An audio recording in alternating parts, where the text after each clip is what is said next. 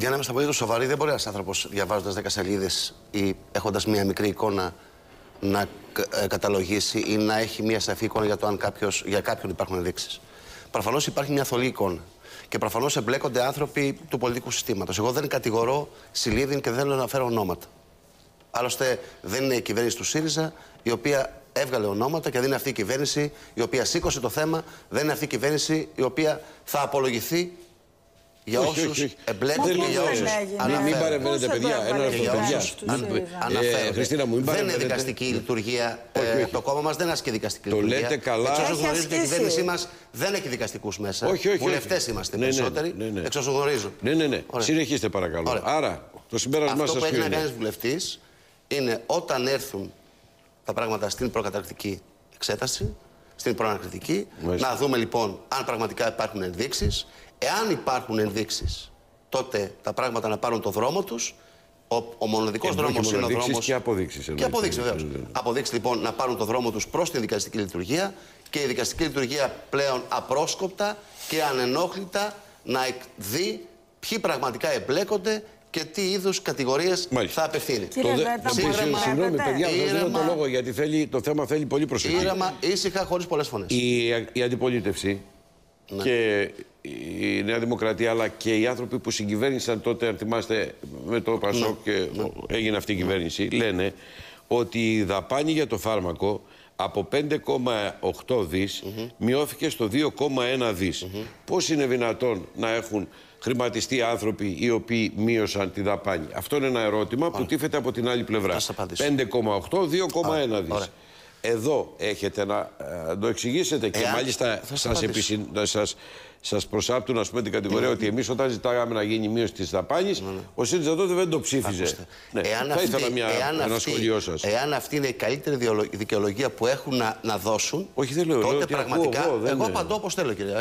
Όχι άλλο τη δικαιολογία την επίση να σας τη δώσει ο κύριος Κατάλαβα τι λέτε. Αν λοιπόν είναι η καλύτερη δικαιολογία που έχουν τότε πραγματικά τα πράγματα είναι λίγο δύσκολα. Θα σας πω τι εννοώ. Καταρχήν να πω ότι εδώ υπάρχει μια βαθιά ρήξη.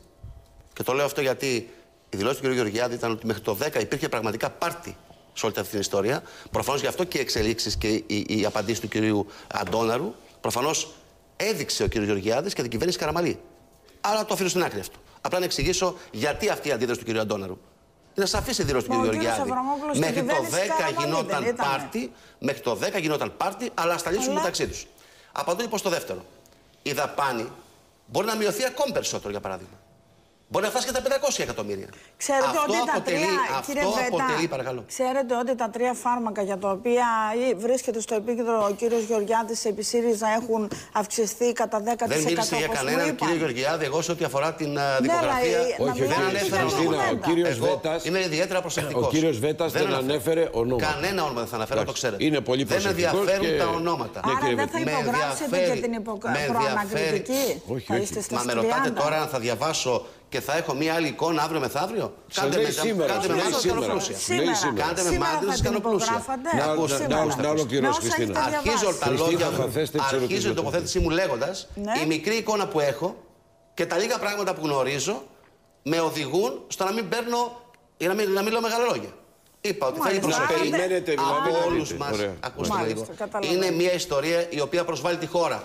Αυτό πρέπει να ξέρουν οι πολίτες. Προσβάλλει τη χώρα. Έκλεψε τον κόσμο αυτή η εταιρεία και ψάχνουμε να δούμε ενδεχόμενα εάν δεν είναι απολύτως σίγουρο τίποτα. Υπάρχουν κάποιες συζητήσεις, κάποια πρόσωπα, κάποιες ενδείξεις. Υπάρχει μια δικογραφία να τη δούμε. Αυτά λοιπόν τα πρόσωπα, αυτή η εταιρεία, μάλλον αυτή η εταιρεία και ενδεχόμενα τα πρόσωπα έχουν κλέψει τον ελληνικό λαό.